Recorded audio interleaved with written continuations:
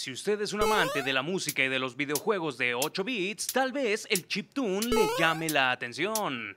Se trata de música electrónica sintetizada hecha con chips de sonido antiguos de computadoras y videojuegos retro.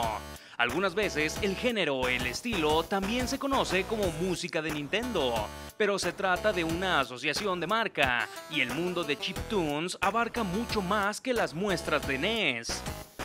El término chiptune o chip music se deriva de los chips de sonido que se usaron en los generadores de sonido programables de estas consolas o computadoras más antiguas. Hoy en día, el término chiptune cubre una extensión más amplia de la síntesis basada en chips, aunque la definición original lo considera específicamente como un pequeño número de chips de 8 bits creados para generar sonidos para videojuegos.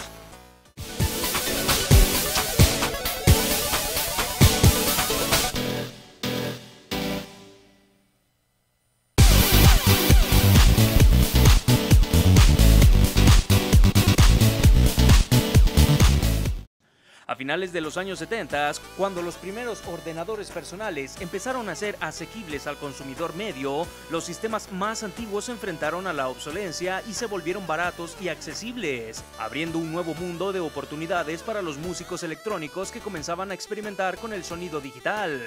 A mediados de los 80, la síntesis de modulación de frecuencia se introdujo finalmente en el mundo chiptune originalmente por Yamaha para sus sintetizadores y chips de sonido, y la síntesis digital de FM hizo espacio para muestras y efectos más complejos.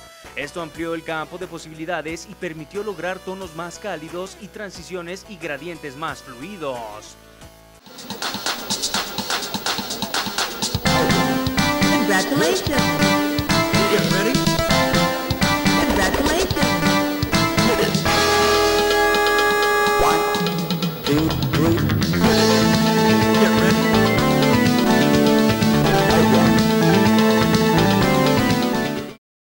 Al final del día, tal vez no se trate de un género musical que todos quisieran escuchar, pero sin duda es una curiosidad digna de conocer dentro de un mundo virtual que adora la nostalgia.